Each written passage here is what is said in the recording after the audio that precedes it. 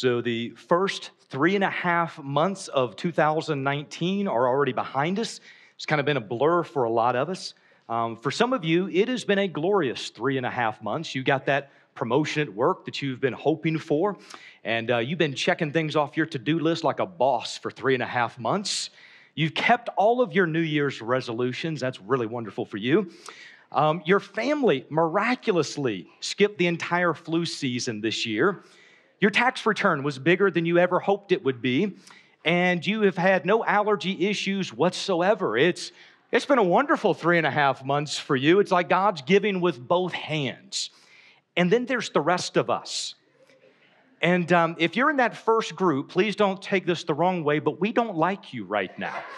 Um, ours has not been that same type of three and a half months. And it's not all been bad. Let me be very clear on that. It's not all been bad. Um, we have our own coffee mug at the doctor's office now. That, that's what they give you when every member of your family has the flu twice. It's a part of their gold package. Um, we stopped counting the number of times appliances broke at our house. And can I just tell you, there is nothing more unsatisfying than to pay to fix an appliance because you don't get a new one. It's not like there's new features on it. You're just paying your old one to do what you paid for the first time. It's like there's no benefit on that side for you. Also, um, that no sugar in 2019 resolution, that lasted 23 minutes into the brand new year. Somebody brought cheesecake to the New Year's Eve party, and what are you supposed to do at that point? It's either a resolution or my happiness at that moment. And allergies have been raging since October, and it seems like the to do list has had babies, and we owed money on taxes. But, you know, all of those things, you know, off to the side, I hope you've enjoyed your first three and a half months of 2019. Now, as God is my witness, I had just finished writing the introduction for this message in my office at home when my dog walks in, smile on her face, throws up all over my office floor. I don't speak dog, but I'm pretty sure she said, You left one off your list. Brah! Exclamation points. I'm thinking to myself, really, God? Really? Like, I had plenty of material to get that point across right there. Have you ever started your prayer time with God? Have I done something to offend you? And, all I can say is when you're standing in your office with fresh dog vomit on the ground, you've got questions that just come through your mind. So we know life has challenges. There's ups and downs. There's things that go exactly as we hope they would, and there's things that do not go well at all. And there's those times when it seems like hit after hit just keeps on coming. And at one point, when somebody says it's just a season that you're going through, you, you take a little bit of heart in that. But when that season turns into month after month and maybe even a couple of years, you begin to wonder is this a season or is this my life right now? We understand difficult things happen. But here's what I can tell you for every person who's had another challenge after another challenge after another challenge come into your life, here's what I'll tell you is taking place in your mind. You will process every new challenge through the lens of self. How will this affect me? How will it affect my future, my family, my finances, my health? How will it affect my plans? And we process through the lens of self. And let me just say, that's normal. That's a part of being human. But even though it's a normal part of being a human, along the way, we begin to find ourselves where we're so focused on the next problem and the issues that we're seeing that literally the walls of our world begin to close in. Where at one point you might look out into your future and you see opportunities everywhere. When you go through problem after problem after problem, you begin to look out into your future with a little bit more of a pessimistic outlook. You look out into your future and you're thinking to yourself, I'm not sure what tomorrow is going to be because the last two months have been difficult. That's a normal part of being a human. But listen to this even though it's normal, here's what I want to say. When our focus turns inward on self, the walls of our world continue to close in. So, what do you do in those moments? How do you come out of that funk that you're in and begin to see something at a little bit higher level? We understand difficult things are going to happen. You cannot escape problems in life. There's going to be problems that come with health and problems with job loss and problems with finances. Literally, in the first two messages after it's over, I've had people come to me and say, I lost my job this last week. Another person comes and said, I've been diagnosed with cancer this last week. That's, that's life, that's where we live. So if you can't escape those types of things, is there a way to reframe that moment? Chances are, even after this message, we will still process the initial challenge through the lens of self. But the question now becomes how can we move past self with why me? Why now? When will God step in and deliver me? And how can we move and quickly focus on something that is bigger and far more beneficial? Here's your key truth for this morning it's in your notes. Our focus and affections will always rest upon self until they are awakened and consumed by something bigger. This morning, I want to walk you through a moment in King David's life where he transitions from self focus to being overwhelmingly delighting in the glory of God.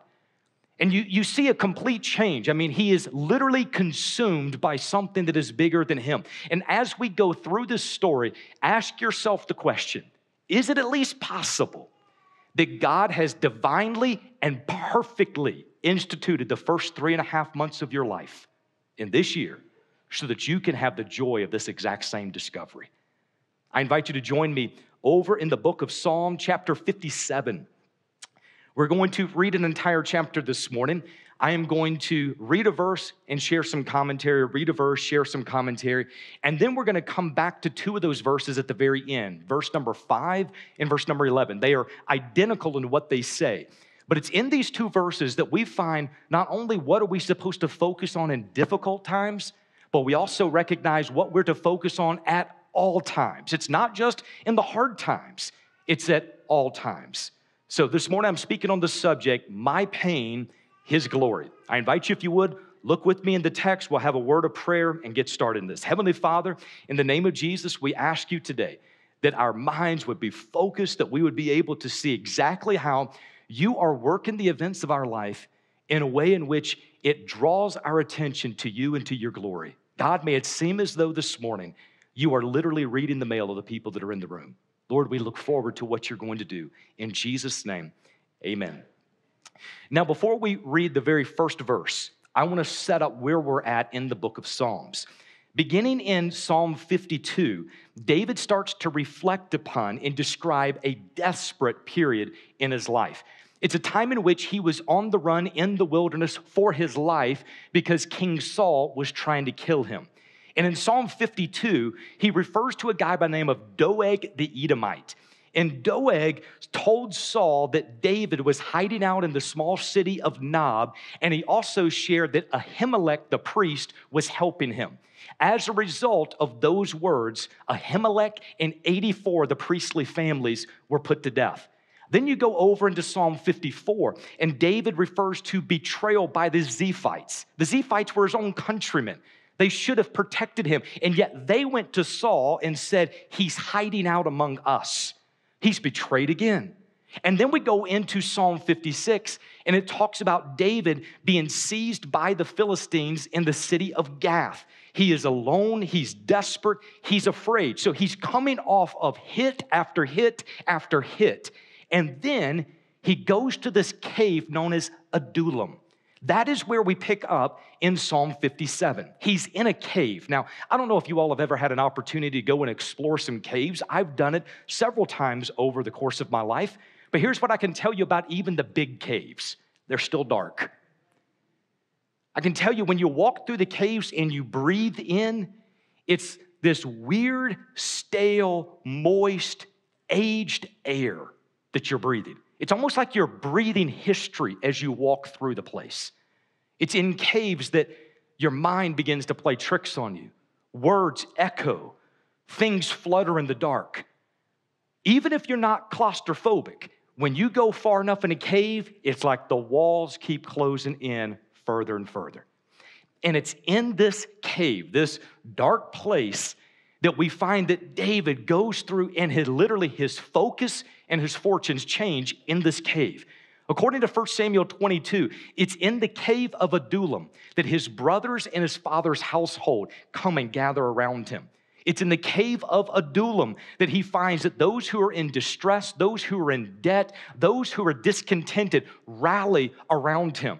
So in this cave, it says that there were over 400 men that gathered around him, and he became their leader. But listen to this we know all of those things happened in Adullam. What we do not know is if he wrote this psalm before or after those events. Based on how he began the writing, it seems as though this is happening beforehand. Because when he starts the, the chapter, he's talking with words of desperation. He's seeking God's protection and God's refuge. But it's in this psalm itself that you begin to see a change in the tone of his writing. All of those psalms that I just mentioned a few moments ago, his words could be characterized as uncertain and fearful and desperate. And yet in Psalm 57, there is this settled tone of victory. There is this praise that begins to come out. In fact, this psalm is so connected with praise and victory that over the last 2,000 years of Christendom, this psalm was written into the liturgy of many denominations as one to be read by the congregation on Easter Sunday. And the reason is because it's in this particular psalm that the cave that could represent his fate now becomes a symbol of the victory that he has in his relationship with God. So, my question is what happened in the cave? How did the focus change? How did he come from being fearful and distressed and overwhelmed to being in a place where he's praising God and he's excited and he's focused on the glory of God? This is not in your notes, but I want you to hear how the transition happens. In the earlier Psalms, David was hiding from his enemies. In this psalm, David is hiding in his God. That's the transition mark.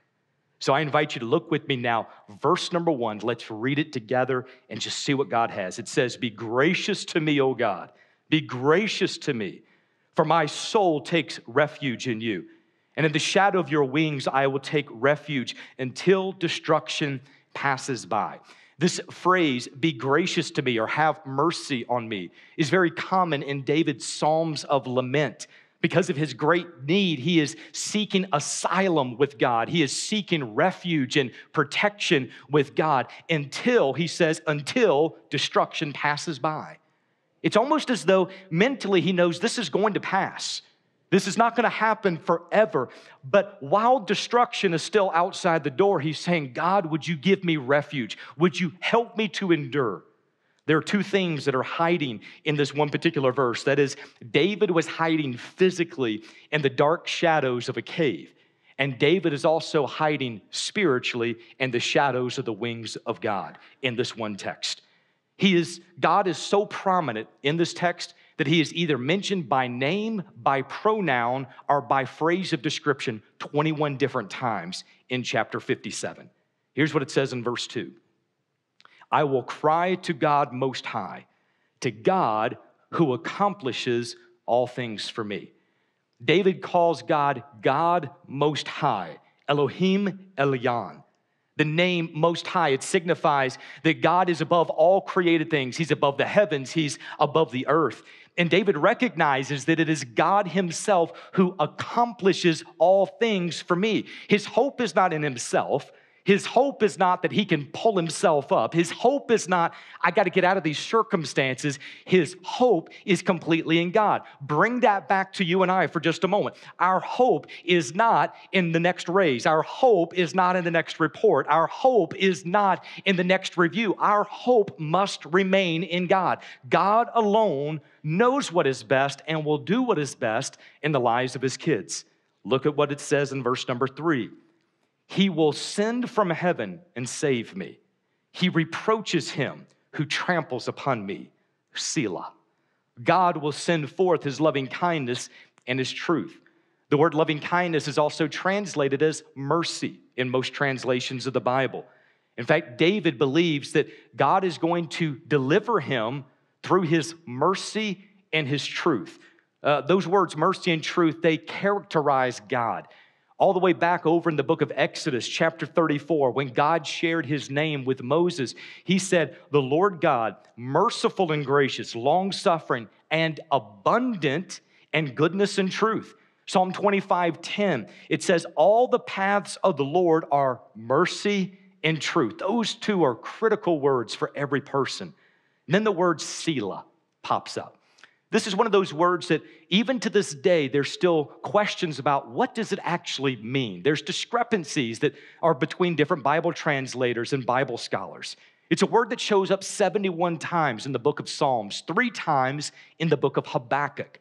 As best we can tell, scholars focus primarily on two meanings of what Selah means it is pause and think calmly about, or it is number two, to praise and lift up.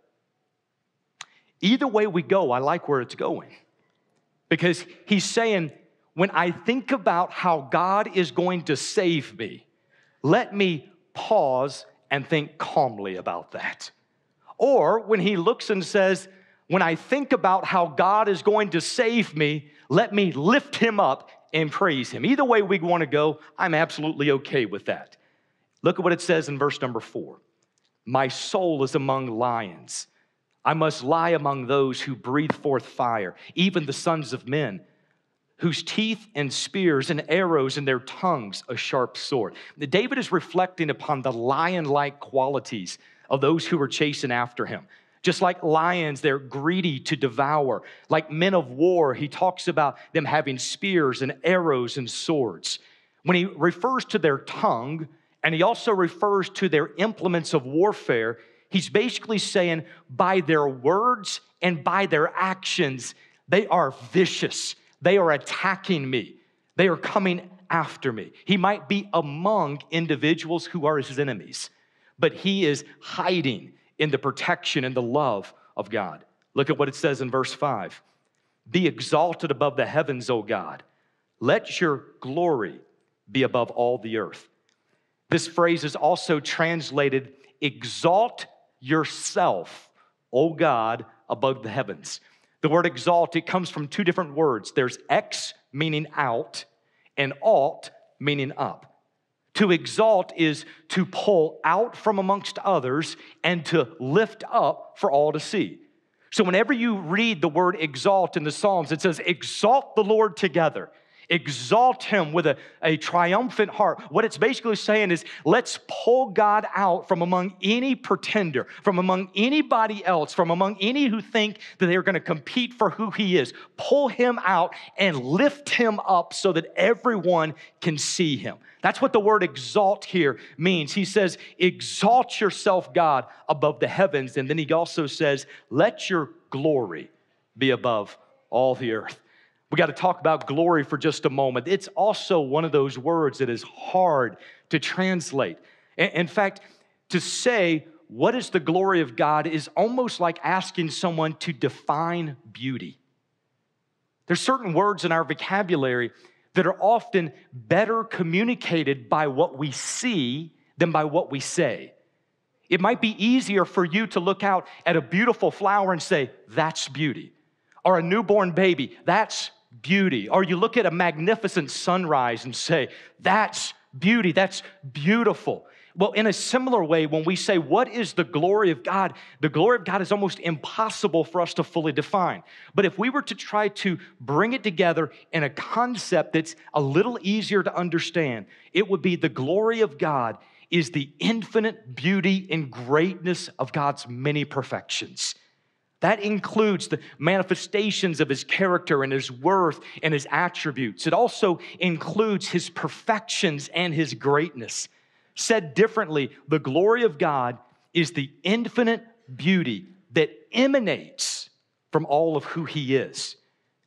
Now, take that idea, drop it back into the text. David says, Be exalted above the heavens, O God. In other words, God, would you step out from among all others and would you be lifted high for all to see? Then he says, Let your glory, let the infinite beauty and the greatness of who you are be clearly seen by the heavens and by the earth. It's in this moment that you begin to see a transition from David's focus being upon himself and his problems, and now he's focusing on God and his glory. Watch the way that transition impacts the remaining verses. Verse six, they have prepared a net for my steps. My soul is bowed down. They dug a pit before me. They themselves have fallen into the midst of it. Selah. I love this verse. Probably for the wrong reason, but I still love this verse. Basically, David is saying, they dug a pit for my demise, and yet they fell in it themselves. Selah. In other words, let me calmly think about what God just did. Or let me praise and lift him up for the fact my enemies just fell in their own pit. It's, it's one of those moments I'm like, David is a human like me, because that's probably when I would have dropped a Selah into this one as well. Like, you, you know, you understand, like, praise God, Selah, reflect upon that. But he's like, my enemies have fallen in their own pit. Let me think about that for a moment. I love it. Look at verse number seven. My heart is steadfast, oh God. My heart is steadfast. He says it twice. I will sing. Yes, I will sing praises. At this point, he is locked in like a missile on what his target is. Twice, for emphasis purposes, he talks about my heart is fixed, oh God. My heart's fixed. My, my heart is not wavering. My heart is not wondering. My, my heart is not overwhelmed. My heart is fixed, oh God. And because my heart is now fixed, he says, I'll sing praises. Look at verse number eight. Awake, my glory. Awake, harp and lyre. I will awaken the dawn. Now, this first phrase, awake my glory, that bothered me when I began to study it until I realized that the other way that this word is translated, instead of my glory, it is my soul. David's talking to himself. And not like in a bad, like he needs to be institutionalized sense. He's talking to himself in a good sense. Here's, have you ever had those moments when you've been in a pity party for so long, problem after problem keeps piling up, and you all of a sudden get to a place like you got to get your junk together. You got to snap out of this. That's what he's saying. He says, Awake, my soul. David, wake up. You've been in this too long. David, wake up. And then he looks over at his instruments of worship. It's a lyre and a harp there. It'd be like us looking over a guitar and saying, Guitar, you've been down for too long. You need to wake up as well. And then for every morning person like me out there, it's a beautiful moment. He says, I will awaken the dawn. Ooh, okay. Listen, for those of you that are not morning people, the last thing you want to hear is a loud noise early in the morning. For those of us who are morning people, that's our prime time. So, for what he's saying here, he's like, literally, he goes, My song of praise has been silenced for too long. I've been asleep. My soul has been asleep. My instruments of praise have been asleep. He says, I can't change what's in the past. That is done. But starting this morning, it's a new day. There's a new song, and I'm going to sing. Let me wake up the dawn. I like it. David's got some praise in him here. Look at what it says in verse number nine I will give thanks to you, O Lord, among the peoples. I will praise, I will sing praises to you among the nations. David is thanking God, listen, while still being in the cave. Sometimes we think, God, when you get me out of this, I'll praise you for it. No, you won't you'll be just as self centered coming out of the cave as you were before. Your praise starts in the cave. Your praise starts in a place where you're saying, God, I don't know what's going on, but there's something bigger at stake here than me and my feelings, that is you and your glory. And you begin to praise Him in the context of whatever it is that you're going through. Look at what He says in verse number 10 For your loving kindness is great to the heavens, and your truth to the clouds. Those, that's the two words again. That is loving kindness or mercy and truth. And as he's reflecting here, he's saying, Your mercy, that is your willingness to withhold what I deserve. It's overwhelming. He says it, it's, it's to the sky. And then he says, in your ability to speak truth into my life at just the right time takes me back. Verse number 11 Be exalted above the heavens, O God. Let your glory be above all the earth. It's the same words that he said back in verse number five. Twice in here, he's saying the exact same thing God be exalted. May you be pulled out from all others. May you be lifted up for all to see. God, you are glorious. That is your infinite beauty and your greatness that emanates from all of who you are. God, may you be glorified over all the earth. David's focus is no longer on him and his problems. His focus is now on God in his glory. By repeating the same thing twice, it's more than him just saying, God, my prayer is that you might be exalted more or that you might be glorified more. The fact he brings it up twice in this sense, it now raises three questions. How will he be exalted and glorified more? In what manner will he be exalted and glorified more? By whom will he be exalted and glorified more? And he gives us the answer in his praise. That is, oh God, be exalted and glorified in this situation. God be exalted and glorified more in this moment. God be exalted and glorified more in me. That's one of those things that happens whenever our focus comes off of ourselves and onto God. That is in that moment, you can begin to say things like, God, I don't know how long I'm going to be here, but however long that is, would you receive the most glory for it? Ask yourself the question if God is most glorified by your current problems, would you want to stay in it if you knew the problems would bring greater glory to Him? If you say, No, I want to get out, you just saw the moment where self is what is now consuming you, as opposed to your heart resting on something that is bigger, infinitely bigger than who we are. The more we make it about us, the harder and harder it is to walk through the difficult times. Here's your key truth again our focus and affections will always rest upon self until they are awakened and consumed by something bigger. David teaches us an incredibly valuable lesson here. And it's a lesson that's taught throughout the Bible, but it's also a lesson that is virtually non existent in so much of our me driven, self driven church culture. So much of what happens in church life, and we're in church life, so much of it is how will this benefit me? How will this help me? But because of that being a part of our culture, it's really difficult to move past me to focus more on Him. Here's a, a truth that it's not in your notes. Might just want to write it down and ponder it, think about it. That is unfathomable joy awaits those who live for the glory of God. Unfathomable joy. In a world that encourages people to live for self, focus on self, gratify self, celebrate self, exalt self, is it any wonder that we battle some of the highest depression rates our world's ever seen? Some of the highest anxiety rates, some of the highest suicide rates. And the reason is not because the pain is not there. The reason is we've almost made it something of a badge of honor to keep focusing more and more on self. And let me just say, self is a low bar to focus on. But when you're at a place where you're saying, you know what? God, it's not about me.